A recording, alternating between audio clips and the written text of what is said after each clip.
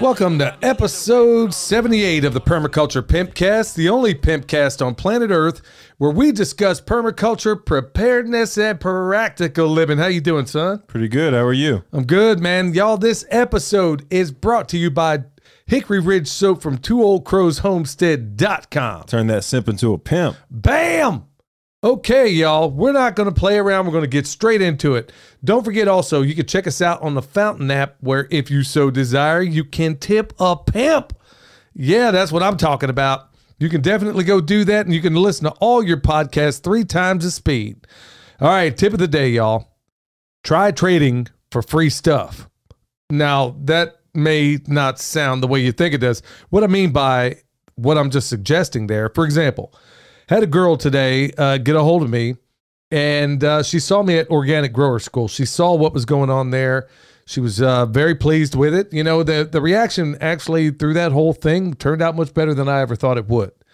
So um, she wanted to trade. She's like okay i have skills in certain areas in terms of like photo you know doing photographs and stuff like that that maybe I could trade for in exchange for what you have. And I'm like, okay, well, that brings me to another thing. Look, I was just talking to Jason from Sow the Land today. And folks, that's what this interview is going to be about. You want to make sure you stick around because his story is compelling and it's almost certainly going to help a great many of you out there that are looking to make that transition from working your regular job into the space of what we all do.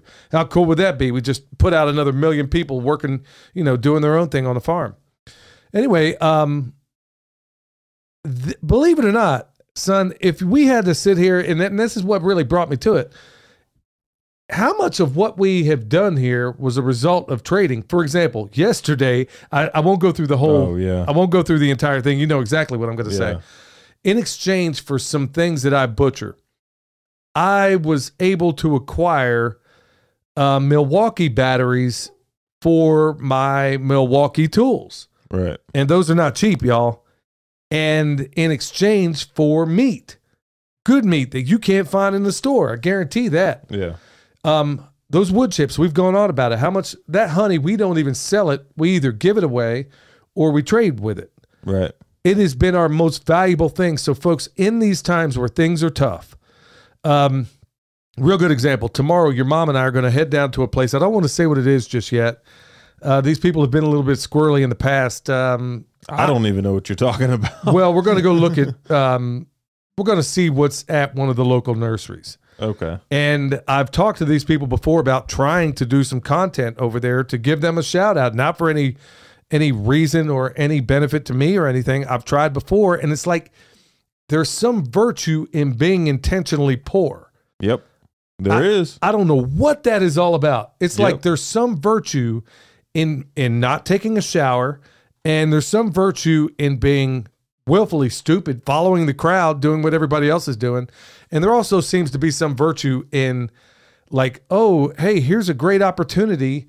I'm going to pass it up because I can go and tell all my friends, I can virtue signal and tell them Exactly. that I'm poor. You've seen this too? oh yeah. Yeah. Yeah. So you can tell people that you passed it up because you're. uh, It implies that you're. Sanctimonious? Yeah. yeah. Like you're not concerned with with money or you're something too like deep that. to you're deep yeah you're too Yeah. deep to concern yourself with the lesser things of this world now uh, look i am the least you- monetary person you're ever going to come across. you're really just worried about how much uh, work it was going to involve. well That was really it. there is that and i've tried to make deals with these people before and they're acting like they want to but at the same time it's like they are afraid i'm like you are in business Yeah. Now, if you are doing everything ethically, I get it. Now, if you're unethical, yeah, I get that too. And you're going to suffer the consequences for good and bad. But it's like no matter how hard I try, I can't seem to get these people to take root. Well, I'm going to give it another shot tomorrow. If not, I'll buy it. And I think they're wondering why, you know, I'm not helping them out. Well, you're not you're not opening the door. I am I'm not a subtle person. So if you're not Nope. getting the drift, yeah, if you're not getting the drift from me, then I'm just like, okay, I don't even know what to make of it. But look, I don't I digress a little bit. I can't even begin to tell you. The most valuable things have been the things I've traded. And this girl reaching out to me today um, really made a good impression upon me. It made me think, okay, okay, I understand you have limited funds. I can dig that. Yeah. I give away a lot of stuff because somebody's having a hard time. But on the same token, also, I'm not going to be somebody's fool either. Yep. But you can also, when we've talked about that in the last podcast, but you would be shocked, folks, especially in these times when times are tough, how much you can trade for that really it might require a little bit of work out of you. Maybe you, you got a skill that they need, or maybe there's something they don't want to do, like uh, take out the trash, whatever the case may be. Do not overlook those things, especially at a time in America where things are only going to get more expensive. All right, straight into the farm news, son. Well, what were you doing today? Well, harvested a bunch of comfrey this morning and then picked up uh, seeds and also some hay. Yeah, so some of these seeds that he picked up, um, he's picking up hay because we got the boys, the sheep, in an area where it's honestly we're we need still carbon source on the ground.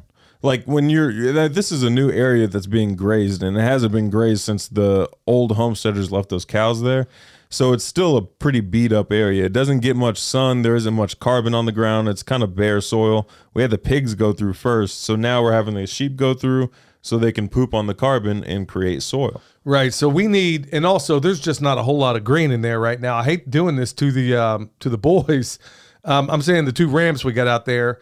Um, I hate doing it to them, but I got to get this area worked over. So I went out there and I seeded this pasture mix. You saw me talk about it in probably one of the last videos. And uh, today I had William go after and get some uh, Korean Lespedeza. And hopefully I'm going to call these people and make sure because I definitely don't want the Sericea uh, variety. I want the Korean Lespedeza. Um, it's, it's basically a pretty cool legume, the Korean version of it, that you can stick in your pastures and you can provide that protein to your ruminants without the concern of bloat, which is sometimes a problem when you have, you know, when you have them eating too much of, um, Nitrogen. Fixing. yeah, anything like that. But that's one cool thing about it. So you get all the benefits. Well, the problem is they wrote on the receipt the kind of Lespedeza I don't want. So dad's freaking out. the The tub that it came out of said Korean Lespedeza. But the receipt says the other Right. kind. And there wasn't a barcode or anything. He just typed in whatever number. Yeah, well, I'm going to call him tomorrow, and if not, he's going to be taking these seeds back, Jack, because I'm not about to put the bad stuff out here. But yeah, that's where we are right now. We're trying to bring a bunch of land into production, but the problem is the previous owners. We're still we're over three years on this property, about what three and Over three, almost Just- three and a half. almost three and a half, Yeah. and we're still playing catch up, trying to remediate the junk they left behind. Dead trees everywhere. I know it, that doesn't really show up so much in the videos, but William did a really good job of working on one portion of it, and you still got maybe a third of it. Not even. Yeah, I maybe. mean, like yeah. all those, most of those, the vast majority of those trees need to come down. Yeah. So we're going to have to we're going to turn that into a respectable silvopasture area, but it's going to require more work, which means this, look y'all, some of this stuff doesn't happen over it most of it doesn't happen overnight. No. Um it takes while it takes a while. We can bring it we are fine we have methods that bring this stuff into production much faster, much faster than you thought, but at the same time it's not without time. That's the one thing you can't do without. And so we need to bring more of it into production. That means a lot of trees are going to have to go that should have never been up there in the first place. It is not a bad thing to cut down a tree that does not, that ultimately it's going to destroy the whole forest if you don't intervene Right. in some kind of way. Plus, we can't really graze anything. It's like culling your flock. Yeah, that's exactly how you ought to look at it. Yeah, you're Yeah. harvesting, culling, harvesting. You could say the same or, you know, pretty much um, parallel to one another. Yeah. Um, all right, so I was out there making bone sauce today. Uh, had a little bit of, you know, the rain passed by a little bit. I always get nervous, man, when I'm out there doing this stuff as of late because this wood is wet sometimes. And I took some of the stuff off the porch, but there is so much of a doggone feel. I am never comfortable about a batch of bone sauce until I, I mean, no matter how many times I make this stuff, I got to sit here and I'm, it's not excitement because you don't know what you're going to have half the time. Yeah. Because you get this thing a little bit off, then you ruin the whole thing. And I'm not about to sell it. And to get it perfect, it really, you really have to watch it. So I'm going to look at what happened after all this podcast is over. All right. So, so y'all, I want to make sure that everybody knows that, um, Keeper of the Old Ways. I had almost forgotten about that. That's going to be something down in Florida. That's coming up. Uh, let's see here, end of next week. So just Oh, Google that. wow. I didn't know it was that soon. Yeah, keeper of the old Oh, wow. ways. That's going to be down in Florida. Your mom and I are going down there. William's going to look after things here, and uh, should be running into David the Good down there. My buddy David the Good, awesome dude. And uh, don't forget, y'all. Remember, April fifteenth, you're going to see the Pimp Daddy of Polyface right here in Asheville, North Carolina, at the Farm Where You Live Festival, and it is ten percent off with promo code PERMA, P E R M A. Before we get into Pastor Lon, I want to make sure everybody out there knows this thing is probably going to be the last appearance we're going to have this year, besides that butchery that we have coming up with Jason. Um, so we want to make sure if you're going to get out, y'all, this is going to be the time to go. Yeah, and this is the place to go to. I mean, there's like there's ac- this isn't a place where there's things to do outside of it as well. Like if you wanted to. Well, this like is this is the first. I mean, is- Asheville is a tourist location. Yeah, so it and it's a beautiful place. Let's be honest, man. Yeah. There's so much. You got all natural. You know, you got so many natural wonders standing around you. There's Go the down to- zoo. You Well, go yeah. downtown. Yeah, people you, watch. two people, two two-legged zoo. How about that? You got that downtown, but you know there are some bomb places to eat around here. But it's a really cool place. If you're going to take a vacation, I mean, any opportunity you have to listen to Joel Salatin, you need to take it. I hate it when they put me on the same billboard as that guy because I really have no, I am not worthy to even be on the same page. Joel is unbelievable. And I'm just glad to be able to be picking him up from the airport. How cool is that? With that, y'all, Pastor Lon. Everyone, this is Pastor Lon.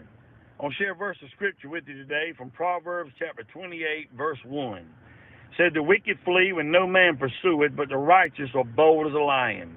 You think about that scripture. The wicked flee when nobody's even chasing them. Why?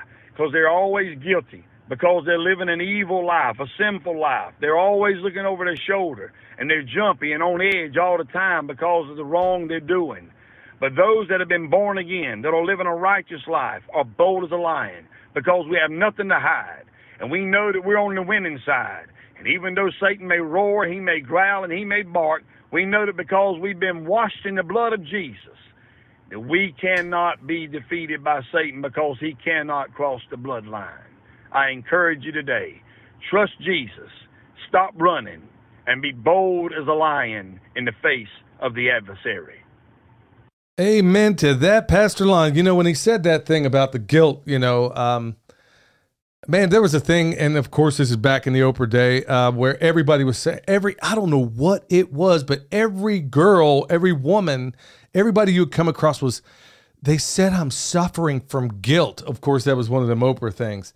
And I remember saying, yeah, it was like no matter what they were going through, somebody, everybody had to have a problem, you know. And um, I remember, be, I was in college. Uh, of course, I'm I'm an adult at the time, and this is like a little side shoot of what Pastor Lon's talking about. And I remember this had been the twentieth time I'd heard somebody say, "I'm suffering." The, the they said I'm suffering from guilt, and I remember being in this class in college, and I remember now at the time I'm working a full time job doing electric work. I'm going to college, and I'm doing all the other stuff I typically do. And as I was going through college, I was also going through the apprenticeship. So yeah, tried working that out and raising a family at the same time. So I remember saying to this girl right after she said it, I'm like, "Well, are you guilty?" And then every last one of them, their jaw dropped. Like I'm, yeah, I just said it as a matter of like. She said, "Well, they said I'm suffering from guilt," and I said, "Well, are you guilty?" And they all looked at me and I remember you are so insensitive. You're you're insensitive. I'm like, "What?" I asked, "Are you you said you're suffering from guilt?" Well, then if you're guilty, then maybe you ought to set things right. That did not go well. I, that did not go well. Yeah, so I'm thinking, okay, yeah, maybe I need myself a different crowd here. All right, before we get into the good news, bad news, y'all remember EMP Shield, 50% off with promo code PERMA. Remember, the number one threat to your house is always going to be lightning, always. EMP shield. Well, supposedly we're getting a corona mass ejection tomorrow, so Yeah. you better hot shot that thing out today, y'all. You should have listened to the first 77 episodes. yeah, you're a day late and a dollar short, nephew. So yeah, it could be a CME, whatever the case may be. If it does fry things downstream, the EMP shield will shut it to ground. But your most important and your most threatening threat is going to be lightning every single time. Well, I don't know about these days. I mean, this thing works. It's the cat's meow. Remember, 10% off. I'm sorry, 50 bucks off with promo code PERMA. All right, bad news, good news, son. Now, this one, boy, I wish Pastor Lime was here for this one. I had to pull this one up, man, and it it's disappointing. And the, and it's from National Geographic, believe it or not. Well, I guess it ain't hard to believe. Look here. Paganism is on the rise. No kidding. Here's where the yeah. no yeah. And then of course you got this woman dressed in this garb standing outside of Stonehenge. Of course Actually- she's deep. I'm sure she's deep. Actually, okay, the headline is saying paganism is on the rise. Rise.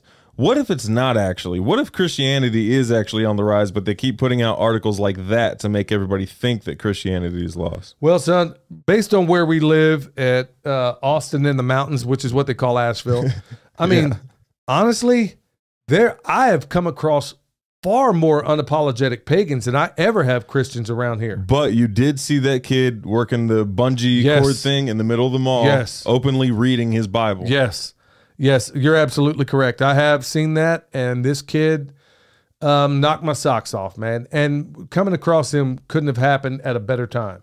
It Yeah, was a, it was I, a, I bet that's I bet that's not true. I bet Christianity is on the rise and that paganism is actually falling off. But they they're I wonder if they're like overcompensating to make everybody think that it's that it's lost. Well, all I know is, um, look, as for me and my house, we will serve the Lord, um, straight from Joshua. So that's how we're going to roll. But uh, son, I mean, at, you look at everything that's going on right now. It wouldn't shock me one bit if that were the case. But like you said, we live in a we live in a world of constant lies. So yeah, it it could very well be. I mean, uh, we'll see. But okay, good news.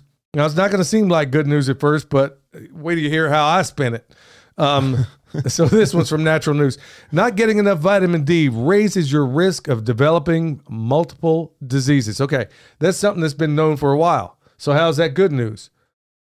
Now you know. It's also So the cheapest supplement you can there take. you go. go out there, get yourself some sun, especially for you dark people. It requires a lot more for you. For real, I'm dead serious. For all you brothers and brothers, this. Yeah, well, I guess I just made that one up. Get out there, get some get some sunlight. 38 genders now. Oh yeah, I forgot about that. Oh, oh Brothers is- yeah, back to the paganism thing, right? because that's really what it is. Anyway, um, like I said, this is necessary. This is a bad article, clearly, but it's actually a good one because, like you said, that is the one vitamin that's free. Get your butt outside, take the kids outside, take whatever devices they're on, throw them away, make them throw the ball around, whatever the case may be. Just get outside. That's vitamin D. And let's say you're in a place where it's historically cloudy. Well, I take um, liposomal vitamin C Yeah. or uh, vitamin D rather, or that vitamin D with K2. I get that from um, Health Masters. And then the other one I get from Dr. Oh man, I could wish I could remember his name, that liposomal vitamin C. You, Uh, vitamin D. Zelenko? No, it's not him. Uh, does it start with an M? Mercola. Mercola. Thank you. Yeah, Dr. Mercola, he makes this liposomal liposomal vitamin D, and that's what I take when it's going to be cloudy. If I'm going to be outside, like I spent pretty much all day, uh, a fair piece of today outside in the sun. I was planting the blueberries I got from Renewed Homestead. I was doing a bunch of things out there. So, like William said, yeah, it's a bad news, but good news kind of article. All right, the other good news before we get straight into the interview with Jason 93 year old man KOs two thugs, son. I wish you could have seen this video. My friend Barrett, this 93 year old man, former boxer, and it apparently happened in the UK somewhere. And I watched this thing. I don't typically watch videos like this much. And usually I hate it, especially, but in this case, I watched this thing at least three times. I'm seeing this old man, he's dancing around. He's like, I'm like, okay, he's 93 years old. Boy, he's moving pretty good. And these guys are considerably bigger than he is. You got all these people standing around. I don't know what was said. I don't know what he did. But man, that old timer, you talk about putting somebody through a five minute flurry of fist, dude. He's like, pop, pop, pop, hit him with a and then he hit this other one with a left hook and then a right hook, and then bam, he knocks one of them out cold, and then goes work on the other guy. and the both of them, this both of these young guys, these thugs, got knocked out cold by this old man. And now that's typically now you're thinking, okay, is that a good news story? Yes. When every other day you're ser- you're hearing about the bad guys coming out on top, it's good news, especially when you got an old timer like this guy dropping manhole covers on the head of these clowns. Here's the bad news. It was my generation that got knocked out. All right, y'all. With that, we're gonna go into Jason.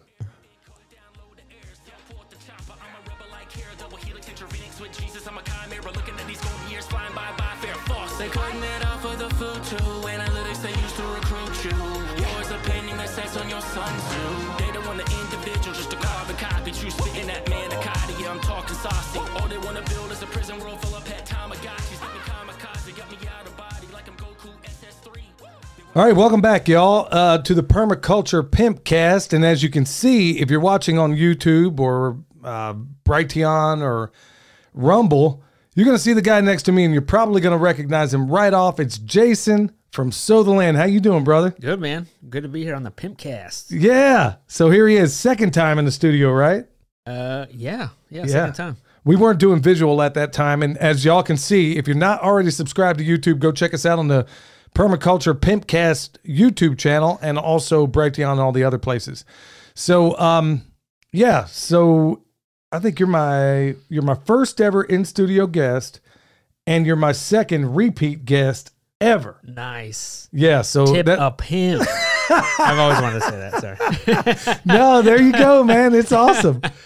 Well, hey, y'all, Jason, if you haven't checked him out, go check out his YouTube channel. Right off the bat, where can everybody find you? yeah, you can find us on YouTube at Sow the Land. Uh, also, uh, we're- have a website, Instagram, Facebook. I mean, we're on all the, all the platforms at Sow the Land.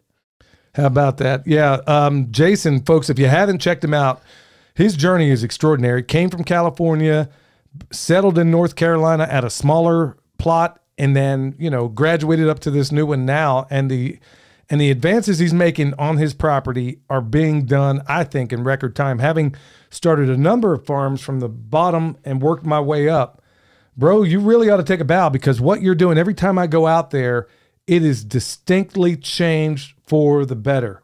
How are you doing that? How are you making such fast progress? Yeah, it's just trying to improve 1% every single day. You know, it's tough, you know, when you're, I mean, we're a small family, me, my wife, and my, my now 11 year old. Uh, and it's just us three basically doing it. And, you know, we're slowly bringing the fam, the rest of the family out here. And Lorraine's parents are out uh, near us now and they're helping us. And so, yeah, I mean, we're, we're loving it. Um, but today is actually the anniversary of me leaving my nine to five office job Really? uh, seven years ago now. How about that? well, why don't we cover that real quick before we get into uh, some of the other stuff here? Because there, Jason, one of the biggest questions I get, and there's a lot of them out there, but one of the biggest questions I get is I'm hearing from a number of you out there that currently are in a job where they pay you enough to keep you from quitting and you do enough to keep from getting fired.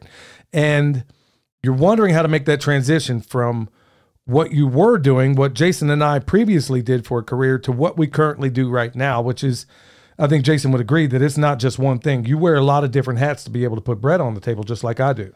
Yeah, exactly. And that's something I did, I could not wrap my mind around in the beginning because I was like, how's this work? Because I'm used to, you know, I worked for somebody since I've been, since I was 16 years old. You know, I've always worked for somebody, collected one paycheck every single Mhm. Friday, It- you know, and that was it. And, and I always been told my whole life, you need one good job, you know, go to college, Mhm. you know, buy the house with a white picket fence, you know, get married, buy, buy, have two cars, you know, uh, all that stuff. And, and that's exactly what I did my whole life.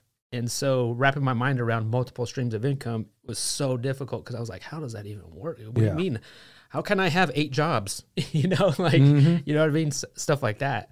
Uh, and so initially when we, when I had quit, it was just like, there was no plan for us. Like I couldn't figure out how because well, let's go back to how it all started. Really, for for me, um, was when I got cancer.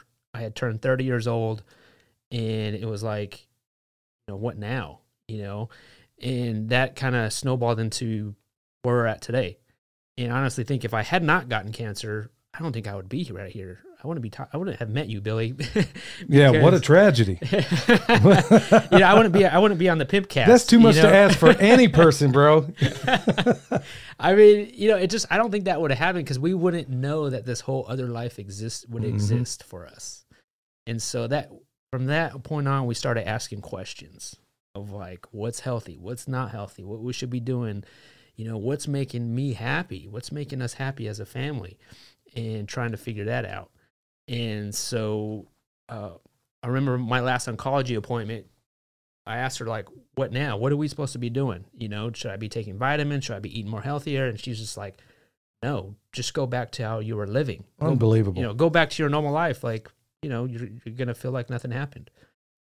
And that's true. Like, it, it kind of it did feel like that, but then at the same time, we're like, "Man, that doesn't make sense." You know, like, how can I go back? You know, it's just it's so traumatizing to go through chemo and all that. But at the i could look back now when i was asking her this and thought like it, back then we were almost it's like i needed her a doctor to tell me what to do. Hmm you know like i was i was asking her what should i be doing for myself? And when she said that then we realized well maybe we don't need an answer from her. Maybe we don't need that answer we need to figure it out ourselves try to figure that out of what makes us healthy and strong and makes us happy and my job was not making me happy it was eating away at me because i did the exact same thing for 17 years and um, just our situation. You know, we're in debt. You know, um, and that's what we fell in love with nutrition and growing our own food and trying to figure that out because you know we're from Los Angeles area. Never grew anything in our life. Didn't know anybody who grew anything. Never held a chicken. You know, like all these things, and we're just trying to figure out together. You know, as as a married couple and as a family of what that would look like for us and it just you know over over the course of six years uh, from when i got, first got cancer in remission to six years it took us that long to basically sell all of our stuff uh, and we had a four big four bedroom house you know go down to one car and also figuring out how to grow food you know we started growing food in our back little backyard even canning at the time we didn't know what it, what we were doing. We were just like, oh, this is kind of fun, you know, growing that first tomato plant, you know. Uh, but now I could look back and say we're developing that homestead mindset in the city. We're homesteading in the city basically, and we didn't know anyone else was doing that. This was pre YouTube, Right. pre social Right. media, really.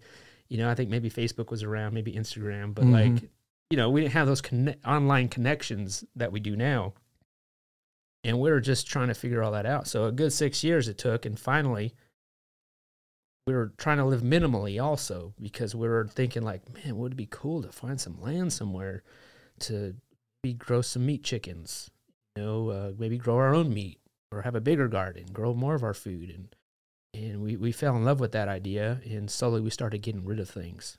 So it took that long, which is six years to to do that, and finally it was like we had nothing in our house on like year five of getting rid of our stuff. I mean, I'm talking about we were selling couches, we were selling, we are taking stuff off our walls. Wow.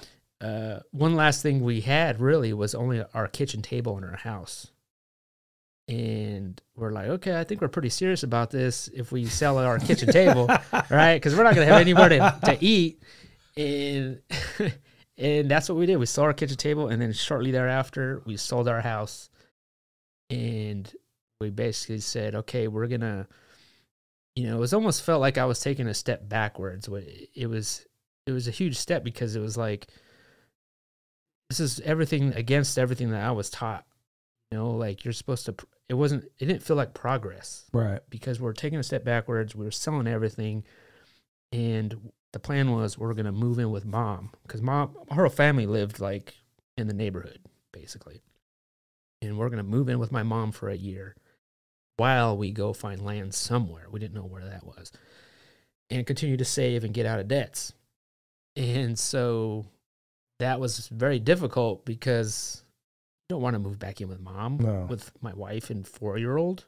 Right. Like that just felt wrong. But, you know, the bigger picture was is that we wanted land. We wanted some kind of land, even if it was just one acre, something. But we knew also that LA area was not going to be it because I would probably need a million dollars to do that Mhm. if if I found land, which was not going to happen. Um, and so that's what we did. We took the whole year just trying to look around, and I continued to work at an office job. And my wife, she, she had already she was in the fashion industry. She was getting tired of driving three hours in traffic to work. every one day. way. One way. I didn't realize that, dude. That is insane. Yeah, and then home was another Wow. three hours, and so she was done with that as soon as we had our daughter, and she was like, "I can't do that." She would never see her, Yeah. Yeah. and so she stayed been, been a stay at home mom, uh, and but I was still at an office job, and I did, could not for the life of me figure out how to get out of that office job because it was comfortable, Mhm. right? Like I, you know. 401k, paid vacations, Christmas bonuses, Oh, yeah. gas card, you know, healthcare was paid for. Yep. like it was I was good at my job. It was easy. You know, I did the same thing over and over again. So I couldn't figure that out.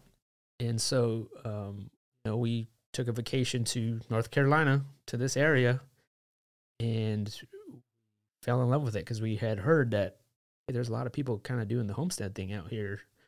You know, and it was so much different than California. You know, it's very green. There wasn't a drought. You know, Right. stuff like that. It wasn't deserty. And so uh, we knew that this was the area we wanted to be in. But how do I get? How did we get here? Like, you know, I, I tried looking for other jobs before we moved, and I just cannot find it. Just you know, I live. We live so far away on the other other side of the country, like you know, and so how how how can we make that happen? And so I thought, well, why don't I just quit? You know, I mean, that is an option. I could just quit. and and that's that's what we did. Um before we quit though, we had we had two options here. You you know, we had sold our house in California, made some money off of that. And I we had like $100,000 in student loans. And we had just enough money from the sale of our house to pay off all of our student loans. And we would be 100% debt free. Or we could take that money and move to North Carolina and buy a piece of property. Ah, option B.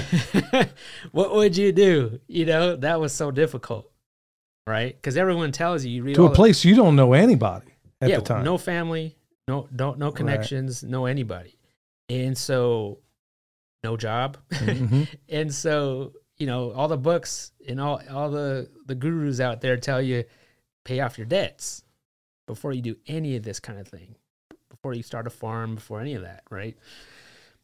But we did not do that. The momentum was there. We were on fire for for wanting to homestead and find some land, and so that's what we did. We're like, you know what, we. I don't. I don't want to pay for our debts entirely because we would that would be all of our money and then we wouldn't be able to live our dream like we wanted to. We would have to probably wait another who knows long who knows when five ten years to save up more money to make that kind of move. And so we ended up moving out here. We we found one and a half acres. And and then also we still didn't have enough money to buy the one and a half acres straight out. I think that's another thing that maybe people don't talk about. I mean, you see, you hear a lot, a lot of people are saying like, "Oh, you got to buy in cash, buy land in cash, you know, debt free," and which which is cool. But for some people like us, we couldn't afford to buy the land straight out cash, um, so we had to take out a mortgage. But then, how do you do that if you have no job in area? There you How go. are they going to give you a Yeah. mortgage, right? yeah. So what we did before I left my job, I bought the one and a half acres as a second home. Ah. So it's too late for them to back out now.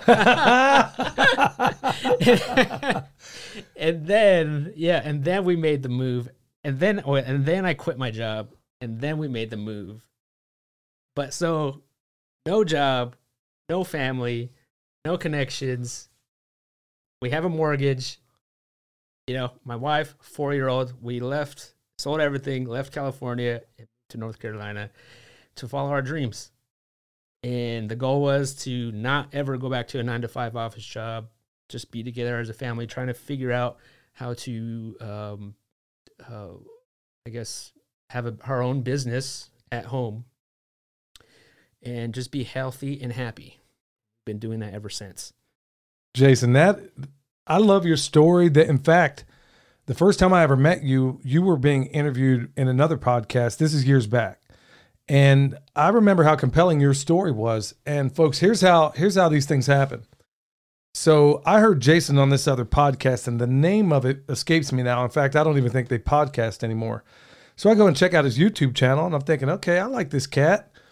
And then I went on to find out, oh, I, I went back and watched his videos and said, okay, he's in this place of North Carolina where when I was in the army, I used to go all the time, go climbing and stuff like that.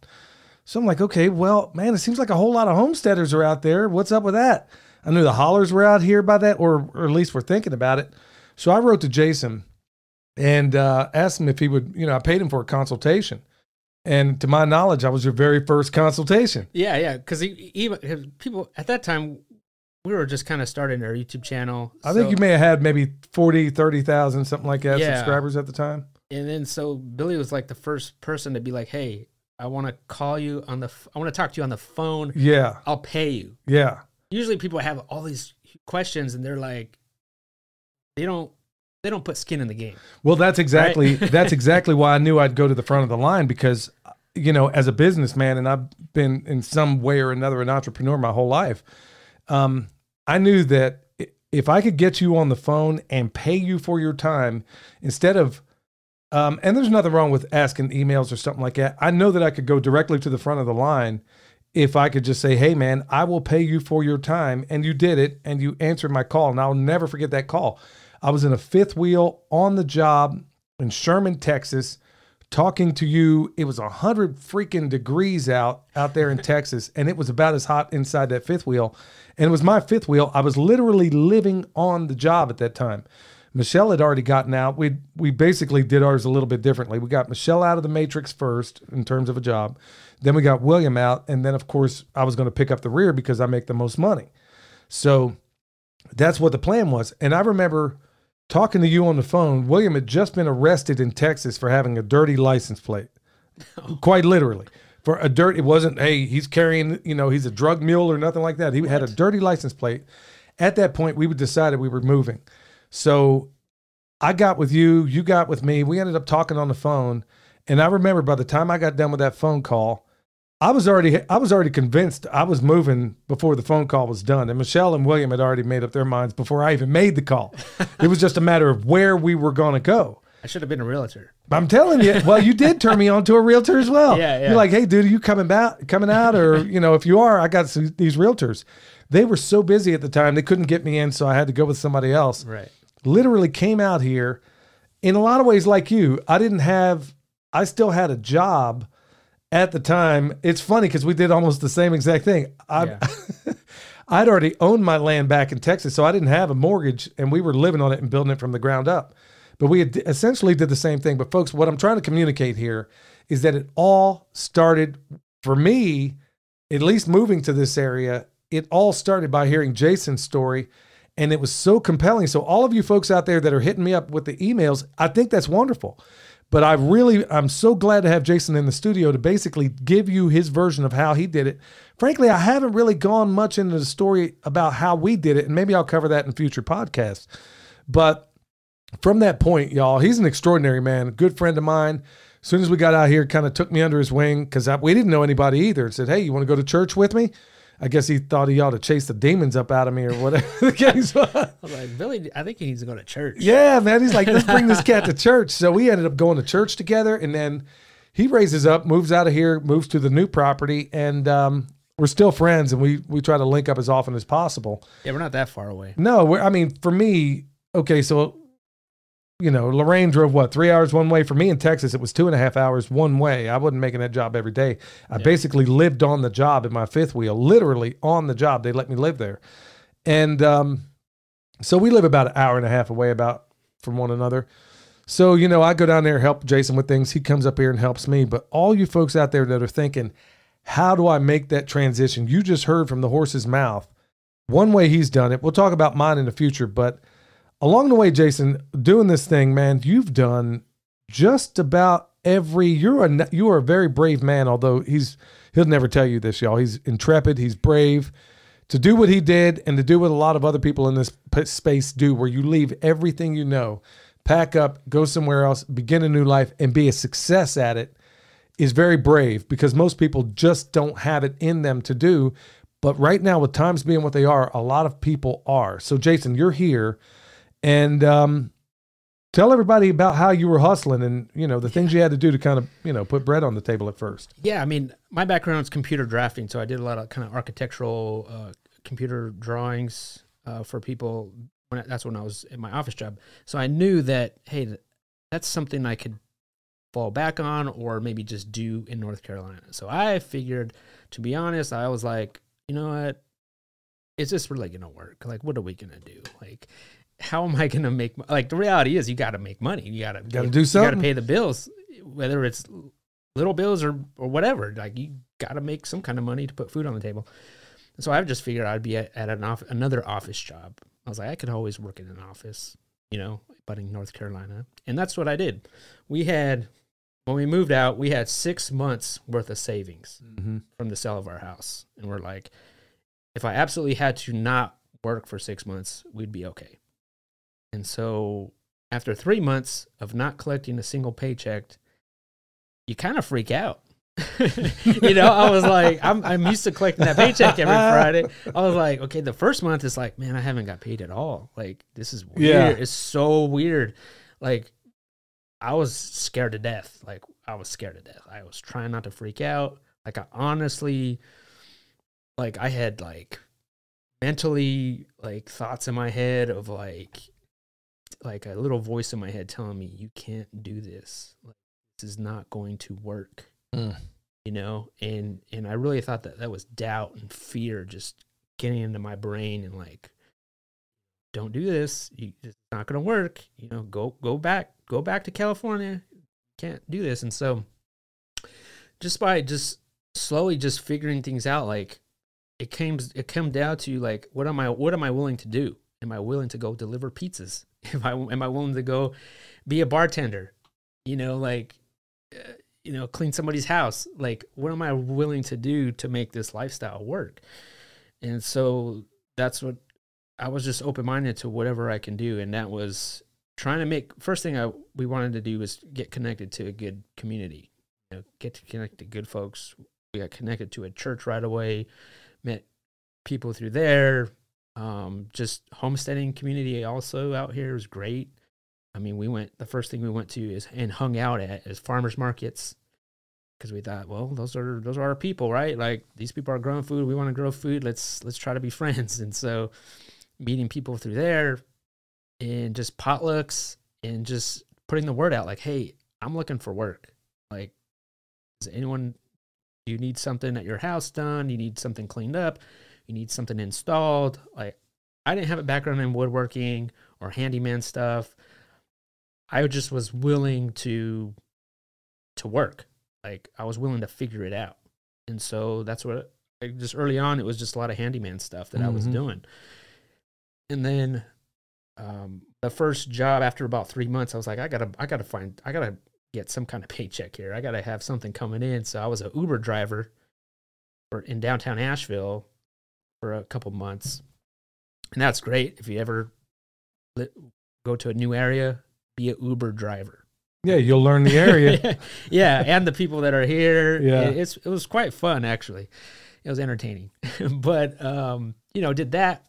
I worked for a furniture company for a little bit, you know, just kind of doing deliveries. It was really just doing whatever I can to pay something, some kind of bills. And we're, you know, we're living pretty frugally. I mean, we had sold a lot of our stuff, so like for the first entire year of living out here, we're we're sleeping on a blow up mattress. Like Yep, because we, could, we couldn't afford Yeah. like a real mattress. And even then, my mom saw we're sleeping on a, a mattress like that. She goes, "I'm gonna buy you a mattress," you know. so she bought us our first mattress out here. Um, so you know, we're just trying to do whatever I can. I mean, and then like you know, I, I got connected with a friend of mine that I met and that was converting school buses into tiny homes. And I I I loved doing working with my hands and doing woodworking. I was doing some I was doing some of that working part time and all these things were just part time work. It- nothing was full time and it was all seasonal. And it was hard to wrap my mind around that because I was coming from a background of one good job. And here I was just doing all these little things at the same time trying to build a YouTube channel uh, early on. And then, um, uh, you know, we're still trying to figure out how to grow in this environment. Mm-hmm. You know, uh, we moved into a one and a half acres, a single wide mobile that was run down, trying to fix that up. Um, so yeah, I mean, just making connections, uh, trying to do whatever we can to make it work while while continuing to figure that out. And then this area is like great for uh, crafts like uh, woodworking, pottery, which we did not know that about this area. Um, it was just, I mean, that's the stuff that we like, like like um, artists, art, artistry, and stuff like that. And so I did a lot of craft shows early on. That was great. I mean, I would just do home goods, like woodworking type stuff, and I was so all all these things that just handyman work, woodworking, and trying to build up our our online presence and YouTube channel, slowly making it work. And it probably took a good, I would say, three or four years of doing all those things and growing this YouTube channel, where finally the YouTube channel kind of took off almost. It it grew after three or four years, where all these other things that I was doing, handyman stuff, I, I started to say no to because I really fell in love with the uh, creating the videos on our YouTube channel, and that was taking off. and and look and look at where it led. I mean, in so many different ways. So it has a bunch of different tentacles. Jason along the way has learned so many. I know because I watch your YouTube channel. Maybe not so much as of late, just because I've been so doggone busy. But I'm I'm seeing your growth from where you started into where you are now, which brings me to the next point where, bro, you're out here butchering cows. Last time I saw, I was Yeah, looking man. at you. So you started off doing chickens, and then of course we're doing pigs. We did it together, and then of course um, cows, and so now coming up real soon, we're going to have a butchery class where we're going to be well, it's going to be hosted at your place, and you and I are going to be teaching together down there. Um, let's talk about that for a moment. Um, Jason, some people might be concerned about the price. Now, I want to be perfectly clear because I had to explain it in the last podcast that you get more for this butchery class than you will any other butchery class on planet Earth, folks. That's coming from me.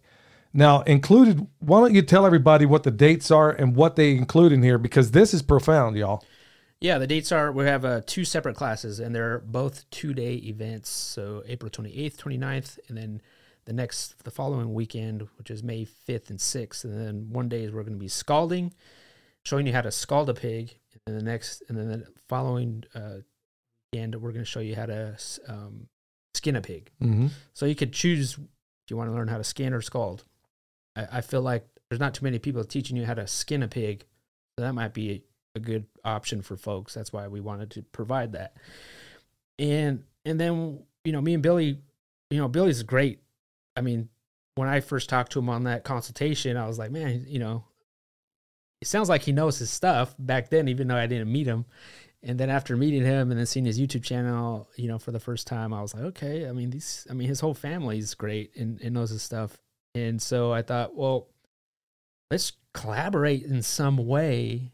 And, and for me, like, too, like, I, I know how to do this stuff, but I feel like if I could collaborate with somebody else, like a friend of mine or somebody that I know that I trust, that's just gonna make I think e- that's gonna grow each other. Yeah, it I Feel does. like It it's like we're creating this, I guess, community of like I'm supporting him, he's supporting us, like you know why not? And you learn it even better when you when you teach it.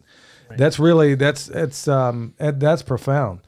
Jason, in this course coming up, in these two courses, like Jason said, we're going to be scalding a pig and we're going to be um, skinning one. And part of the idea with the skinning is that it applies no matter the animal. And trust me, if you can skin a pig, there is you could skin a doggone you name. All right, sorry about the technical glitch there, y'all. That's me. Um, so anyway, in addition to this class, y'all, instead of getting the regular two day butchery class that you're going to get, which is going to be very, it's going to be quite comprehensive.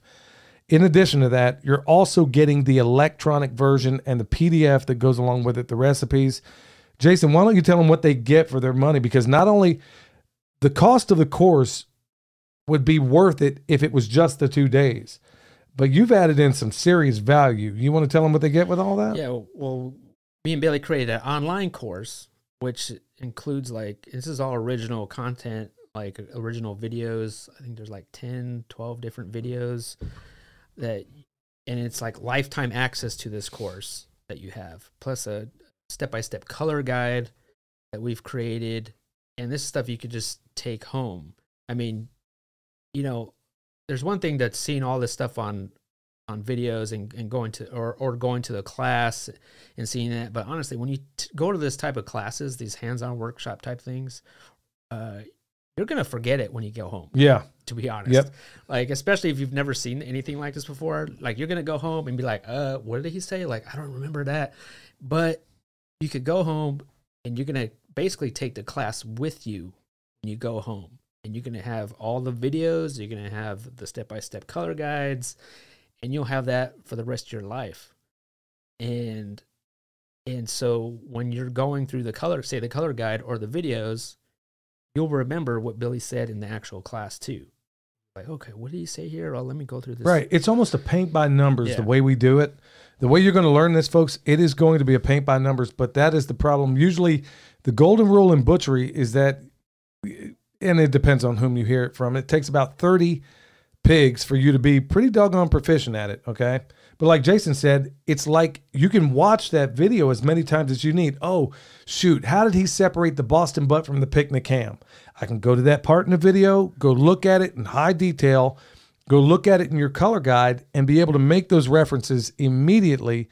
So, this is, in my judgment as a butcher, this is by far the best way to do that. So that's why the cost is what it is, y'all, because you're getting a lot more value. Like I said, if we didn't add anything else, it was already worth it. With this on there, this is really the icing on the cake. So, like Jason said, you take it away with you. Well, plus, I mean, the goal here, the ultimate long term goal is that you're going to go to this class. We're going to share our knowledge with you.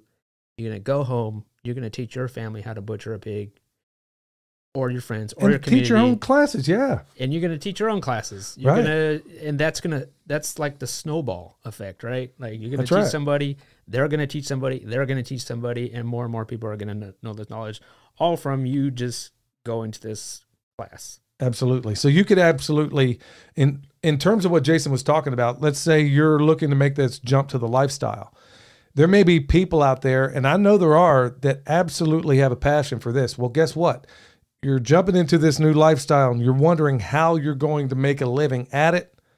Well, maybe butchery is one part of it because there is a big time shortage of people that can process right now. You can charge money for your own classes. Um, the the sky's the limit. So if you're looking to make this transition, and I know so many of you are, because I read every single email that comes through here, and I'm sure Jason gets a lot of these also. Folks, you just heard it chapter and verse how did how he did it, and in the future maybe you'll hear how I did it. But if you're wanting to get more empowered, especially in this day where inflation is going through the roof, you've already heard what's happening right now in the financial system. They're going to inflate it even more, meaning your dollars are going to be worth less. And you probably want to know some of what we know. For example, how I raise my sheep for free, how we raise our cow or pigs, better, better yet, for 21 cents a pound, how we raise our chickens for free and produce a cubic yard of compost a week at the same time doing it, how to raise all of our eggs for free or with very little input costs. All these things at the end of the day don't mean anything if you don't know how to process that animal. So whether Jason has a chicken butchering class, and you can go see that at his website. And also at his website is our joint venture of this pig processing, which is fantastic. But honestly, you want to get there, get boots on the ground, and see this three dimensionally, see how it can be done. Um, Yeah. Plus, plus it's at our homestead, so it's like it's at Oh, a yeah. it's at a real homestead, right? Like we're not. It's not at a big event center that's right. where you're just sitting on a chair and you're watching somebody butcher a pig. Like you're, Or- you're there in real life. Like That's a that's a very good point, Jason. Because a lot of time at those event centers, you're never going to see anybody dispatch the pig. that's true. Yeah. You're never, ever, ever, unless it's on the homestead, you're never going to see that from start to finish. A lot of people will come in because I've done a lot of these demonstrations where they'll come in with half a hog and they're breaking it down. Well, what good is that if you didn't know how to get the you don't know how to get it to a half? The, the important part. Yeah, if you don't dispatch that animal, okay, he had you had to take you had to take life in order to get to that point. Yeah. So you're going to learn every step of the way. Just a regular butchery class is charging about what we're charging right now, and you don't even see that part. You don't even learn that part. So this is going to be. Um, we're looking forward to everybody being out there. You're going to learn a ton. You're going to fellowship with a lot of awesome people. You can hang with the pimp. That's right. And of course, Jason, he, he's a he's a pimp himself. Permaculture is his passion as well. Bro, thank you so much for being in the high top Billy's Jungle Palace of Love here in the Pimpcast studio. Yeah, man. Thanks for having me. This is this was awesome. Thank Uh, you. all right. Well, thanks. hey, y'all, stay tuned. Um, we're going to do a little video with Jason outside. We're going to get a few other things done. All right, y'all, back to it. Everybody worked up about Elon. Buying Twitter like he gon' save us. Left and right, squabbling while he got chips for your heads, calling him courageous. No bueno. I answer to no one, start calling me NATO. Digital cheese on the way, though. Get you a bowl of Alfredo. It's a woke summer. I need another booster before I hit the beach. Be Song cracks me up every single time, y'all. Especially if you guys see the album art. All right, y'all, 10% off at our new sponsor, Heaven's Harvest. Um, you may have what you need out there, you know, your beans and rice and all that stuff. If you want to put back meat, you want some seeds, and which, by the way, we're going to be testing out their seeds. I haven't endorsed them yet because we haven't yet tried them, but I hear they're really good. I'm not taking anybody's word for anything these days. I know the food's good, and um, I think you ought to check them out. So 10% off with promo code PERMA. Go check them out as well. And don't forget Harvest Right freeze dryers. All right, from the Fountain app, we got Strider 47, and he's saying William once said he thought everyone in town was an NPC. Now Billy is saying all the old white dudes are cookie cut. Well, you know, Yeah. I- honestly, right here in Ash, y'all come here to this festival, and we will go people watching if we get the chance. Yeah, you won't like. You're gonna You'll agree. You're gonna agree that every retired white guy, I, I know. Well, that's a stereotype. And you'll see Yeah, the contrast. And you'll see the contrast between. Well, first of all, there aren't any old black guys or Asian guys or anything like that in Asia, No. Asheville. But you'll see the contrast between the people at the festival, There you go. because everybody's going to be cool there, and then the people in Asheville, where Yeah. everybody might or may or not be human. I don't You- know. Yeah, you just go there and you will find out, man. I guess I don't know if we're turning people on to actually go to this thing. Uh, It's interesting. yeah, you're gonna meet some interest. The mountains are pretty too. The mountains, I mean, th- we do live in what I think is paradise. And it's not going to be for everybody, but it is to me. And uh, even if I got to, you know, put up to a certain extent with some, you know, Get nut shoulder jobs checked by. Marchies. Yeah. Yeah. All right. So Martha, uh, she sends me a scripture, Second Chronicles 7:14. If my people, which are called by my name, shall humble themselves and pray and seek my face and turn from their wicked ways, then will I hear from heaven and I will forgive their sin and I will heal their land. Well, if we're wondering what the uh, prescription is to set things back on its track, that's it. Yeah, There you go, right sure. there. I got another one from Strider 47. They're all drones that can get by in lesser quality food. Best grow your own. Hashtag tip a pimp. Hashtag catch a jack. Hashtag pluck around and find out. Bam! I love Strider, Yeah. man. All right, so from Zach here, truth be told, he's sending these pictures of these chemtrails. Oh, good night. He says, Have you ever noticed that crows around the jungle palace of love making extra ruckus when these planes are flying over? Is it something I've noticed? Or, well, you know, I, I've never I paid attention. know. I've never. to- usually it's chickens making ruckus all the time. yeah, So you kind of zone out on that, but we'll have to pay attention. That's a good, that's something interesting. that would be quite out. the barometer, man. Those are very intuitive birds. I got another one from uh, Dan Del Coyo. Uh, great interview. I love the episodes of TSP with Chef Keith Snow on them. I hope you have a future collab with him. I also did not realize he had his own podcast. Now I have an extra show to binge between episodes of the Pimp Cast. Oh yeah, I'll tell you what, Chef Snow, man. When I heard his uh, podcast, I'm like, okay, I'm definitely in good company here. Yeah, his website, his um like his freeze dried food kits, they don't look like that. They look like uh like you're signing up for some meal plan. They look like off the hook. Well, he you sent know what I mean? I- they I don't would look like to- you're uh, preparing for the apocalypse. Well, I want to check about. I want to check out his recipes and stuff. Haven't had a chance to do it. He's been emailing me, and you know, I, I need to respond to him. I I'm just up to my eyeballs with so many different things. But yeah, um, had a lot of good response from Chef Snow, and also with the boys I've had on. Yeah. Uh, B and B Machine, man, I'm telling you what, they hit it out of the park, folks. If you got young people, have them listen to that, and maybe it might give them a little bit of encouragement as far as what they intend to do with their lives. Uh, Ryan, do you clip your chicken's wings? If so, how young do you clip them? God bless you and yours. Thank you, Ryan. Yeah, we do. Um, we start clipping them when they start jumping out, I guess, and that's our barometer for every time we clip. Yeah. we just clip every time they start jumping out. Um, and then you know to clip to the secondary wings, flight wings, and stuff like that. So Yeah. So, and then now we we got to get another fence because it's not tight enough, and they've been those black ones, the Australorp looking ones. I say Australorp looking because who even knows at this yeah, point? I mean we've we've you know we're not exactly getting them off the shelf at Tractor Supply. uh, Elisha Johnson. Uh, great bonus episode with a young machinist. I have a master's in business, a bachelor's in organizational leadership, and Air Force education. Others, some aspects of the Air Force, ed- other than some aspects of the Air Force education, it was all crap. I'm right there with you, buddy. Uh, living where I now live, I learned more in a half-hour conversation with non with local non-degree holding business owners than I did in formal education. Yeah, I can't I can't agree more. Um, That's what Andy Frisella talks about all the time. The people that are teaching at those business schools are the ones that can never do it.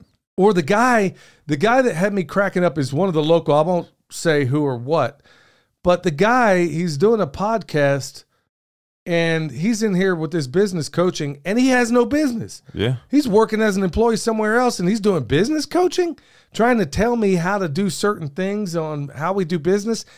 And I didn't find out till later. I, I just listened, but and then find out later. Not only does he not have a business, he's working for somebody else. So be real mindful where, like my grandmom always used to say, be mindful where you get your advice or who you tell your advice because the wise don't need it and the fools don't heed it. All right, got one from Alan. He said, Billy, listen to Monday's podcast at the gym. Y'all had me laughing so much I almost dropped. yeah. So I'm I'm glad that helped out. Um, we always try to, you know, add a little bit of levity. And that's one of the things that a lot of the podcasts out there in the farm realm just don't do. yeah, Um, it's not I'm not I'm not dogging any of these people, but it's usually okay, so what you're normally gonna find is gonna be a guitar, acoustic guitar intro. Yeah. Yeah. Yeah, it's going to be that. And there's nothing, absolutely nothing wrong with that. It's like, you know what? I was born original and I'm not going to be a copy. I don't care what everybody else does. If I want to play the Gap band, I'm going to play the Gap band. This is the pimp cast. Bam. So, yeah, we're to, we can fuse the farming along with it. I think so. Um, okay. Uh, from Chaz here. Hey there, Chaz. I mentioned, uh, I heard you mention using swales on your property soon. I live in Western North Carolina on the border blah blah blah blah blah. I was under the impression that swales were for drier climates to hold more water in the landscape. So what's the point with us being in a temperate rainforest? Just some random thoughts. Uh, could it be detrimental during wet seri- uh, wet seasons? Uh, no, it's only a benefit because even like temperate rainforests have their dry seasons, and even us go like we still go through drought periods and stuff like that, and it just does better. Like your pasture is still better. Like in a we're in a subtropical rainforest at uh, Geoff Lawton's place, and his whole farm has swales. Here's another thing to consider also. It's also not just capturing that water, it's also directing that water where we want it to go. Exactly. So there, we plan on having ponds out here as well. So it's not just. I mean, there's certain parts on this property you cannot put a swale. I mean, if you're you you got a terrace or you're not doing anything, it's that steep. But in the areas where we can, we can use it to channel and funnel that water in the places where we need it. And that's really what we're doing with it. How much? I wonder how much crap Chaz got whenever the Antifa did that city in Seattle. Oh man, I was I, I didn't want to say it out loud. Yeah, you probably got dealt with, my man. So best of luck there. Um, well, let's see here. I heard you mention in one of your videos about feeding chickens. Hey y'all, this font you got to look. I'm a little older, y'all. me read it? I think I can make it out. I met, I heard you mention in one of your videos about feeding chickens a deer repellent you make. Uh, would you be able to provide me a link or how you make or sell it? Okay. Um, no, we're not feeding chickens bone sauce. I can promise you that. We feed them bones. We feed them. Yeah, well, they get bones as a you know Yeah. Uh, from other animals, and they will sometimes pluck the marrow out of it. If I'm not using it for bone sauce, no. Well, you're talking about for the deer repellent, and we have a lot of questions about that as of late. A lot of people Spring. wondering. Everybody's thinking about growing and stuff. Yeah, and it honestly, it was meant for orchards and food forest kind of settings. A lot of people have had great success using it in the garden, but that's what it was for. I mean, I stand behind it because I know what it does and I know how well it worked for us. We wouldn't have an orchard if it wasn't for bone sauce. So I'm thankful. And of course, we've made it much much stronger. Basically, it's heat, water, um, it's heat, water, time, and technique. That's really what it is to make it. There's a technique to it, and that's the only thing about it that's proprietary. There's nothing in it that's going to kill you. I wouldn't eat it, and definitely don't put it in there. You know, don't put it out at the barbecue. I can tell you that. Yeah. People are going to eat this stuff and think, "What on earth Yeah. did you just do to me?" Don't eat yeah. it because it's disgusting. Not that it's going to kill you. yeah, but it's it's non-toxic. You can stick it on your plants. Just make sure you don't put it on the green areas. And like I said, man, everybody and the great grandmother's hitting me up about this. Uh, the stuff does work. Um, let's see here from Andrew. Heard you mention in one of your recent pimpcasts that you were interested in learning more about the na- state national movement. I've been looking into it as well. One of the most comprehensive and understandable sources seems to be Brandon Joe Williams, and he sends me a link from YouTube. I'll have to check it out. I mean, what was the name again? Brandon Joe Williams. Okay. Yeah. I'll have to check that out. Um. So anyway, oh, this is one that's great, man. There's this guy, uh, Rusty, and he's showing his version of a chemtrail, and he says it says believe in Jesus, and somebody did it with a, and they did a quite a fine job, man, with an aircraft. Wow. Yeah, Yeah. you know how so many people like people write um I, I don't know what they use, but they write with the exhaust from a plane and stuff like that. They'll do pictures I don't think or it's an exhaust. I think they actually they're putting something up there to spray it. Oh. Well, Yeah, either not- way, that's cool. Yeah, I thought that was pretty cool. I thought that was really great. Um, let's see here. We also got one from Adam. I hope all is well. Here's some photos I've taken. Now, I'll tell you, this is from Adam, and folks, I'll do the best I can to describe this. He's basically taken uh, wo- uh, chicken netting Yeah. and he's cordoned off his garden area. And from what I can tell from it, I can't tell the whole thing exactly. I'll try to get it to where you can see it over here. That's cool. But basically, he's got his chickens in one portion of the garden over here where it Oh, seems wow. to be doubled up on itself, I, and that's it up close. I've never seen anything like this, and if this thing functions the way I think it does, I That's think cool. it is absolutely a magnificent system. And basically, it looks like he's basically wrapped a portion of it. Can you describe It it? looks like he might be doing like if you Google um the like, Chook Dome uh system where there's like twelve areas in the purple, dome moon. purple pear. Yeah, if you, it, it looks like he might His be doing that it, on yeah. a rectangle, uh, rectangular system instead of like the circular Chook Dome system. Yeah, I thought it was That's fantastic. cool. Yeah. So I was like, oh, goodness. So he's basically got them in this long rectangle, and it seems like it just makes its way through the garden. And I'm like, And- that's what he's doing, that's genius. The chicken rectangle is a smaller rectangle within the garden rectangle. I And it seems to be working over a portion right. until it's ready for them to move into the next one. Uh, Ken says, I'm getting ready to plant comfrey. What type of soil do you recommend, son? Will it work in clay or does it need some other type of soil? It'll work in clay. We have it grown in almost Play-Doh down in Texas. Um, but it works. It does best if you're looking for roots, um, like to harvest roots. It does best in sandy soil. But if uh, it will grow in any kind of soil, Yeah, it, in except clay, it's for just Miracle-Gro. Yeah, don't, don't- plant it there. I've even seen it grow in there, but don't do it.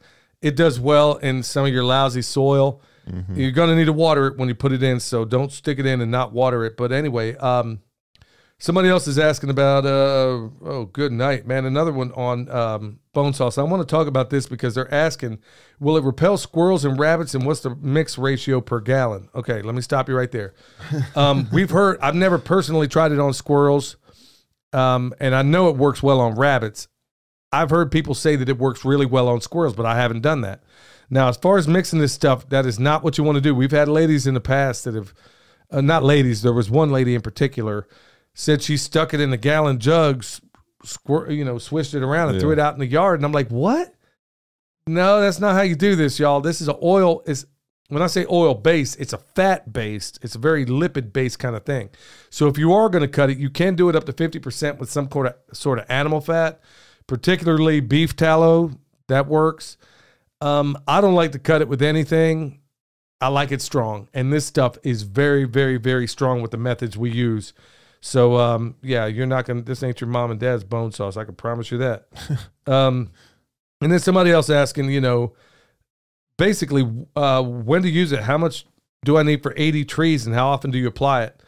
Well, those are. It's kind of a loaded question because I don't know how big the trees are. If they're saplings, you could use a jar and hit them all. It's best to do it when the trees are dormant, but you can do it when they're not. Just go up to about five feet height, you know, browsing height, and then hit the trunk, hit whatever limbs are relevant, and uh, that's pretty much what you want to do there. As far as how many you're going to need, like I said, it all depends on the girth of that tree. And as far as how often you need to apply it, well, the stuff that we initially applied when we got here, I have not reapplied in two No. years. And it's supposed to, uh, apparently, it lasts from 25 to 30 years. Yeah. Yeah. If you so- apply it to a wooden surface. Right. It can last that long. Um, you know, if, if they give me any more pressure, then yeah, I'll definitely be back for that. Um, burning on your site. Okay, now here's one I definitely want to cover, son. Maybe you want to hit this also. Um, Billy, I need some advice. I'm trying to imitate your food forest, and the area was consumed with trees, underbrush, and vines. I cleared it all and burned the pile in place.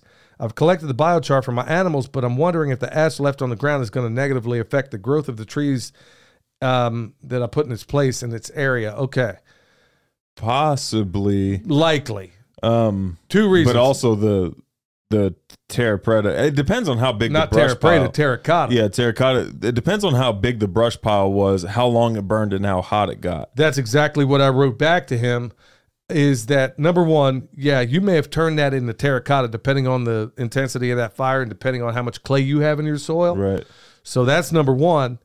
Number two, well, you're going to have a pH problem too if you left, depending on how much you burned.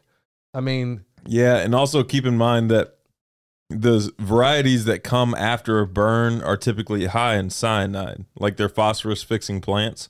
Um, and those typically are high in cyanide, and that's to stop grazing animals from grazing those plants, and so it can like heal the soil. yeah, you're going to need some time on that. You Um, might be able to plant some ferns. I mean, you might be able to choose the cyanide loving plants you or creating plants you want. or it may not be bad at all. You may just have a pH problem, but Yeah. depending on the intensity of that fire, because and it's funny you mentioned that because there are some controlled burns that I got to do around here. One in the gully on the side of the house, which I'm going to have to be very strategic about. Another being our burn pile down by the rock in the middle of the pasture. Yeah, that'll be less consequential because it's Yeah. mostly on that rock. Right, because we're burning on a doggone rock. Yeah. So that we want to be really, really careful careful of. So be really, really cautious with your burning. You want to make absolutely positively sure that yeah. So terracotta and pH, you're gonna have some problems. Could you? I wonder if like uh, putting down cardboard and wood chips over that would help. I wondered, and I don't know because I've never actually done it. Theoretically, that's kind of what I was thinking. Yeah. I was like, um, I wonder if you could throw a bunch of carbon out there. I don't know because I've never had to do that, not in that particular circumstances. But that that's kind of where my mind is going. All right, y'all. Thank you so much for checking us out. Look, we look forward to hearing from all of you in some way or shape or form in the future. Thank you so much. Until next time, stay alert. Stay alive.